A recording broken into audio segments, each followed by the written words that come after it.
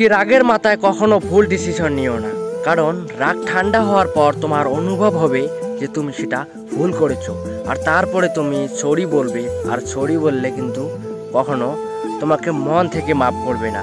কারণ সরি বললে কোনোদিনও ভুলটা শুদ্ধ হয় না।